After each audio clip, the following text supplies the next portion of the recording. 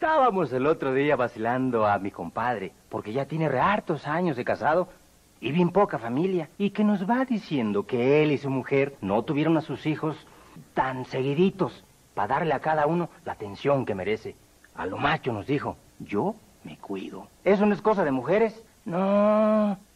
Planear la familia también es cosa de uno y que nos deja pensando. Planifica, es cuestión de querer. Consejo Nacional de Población.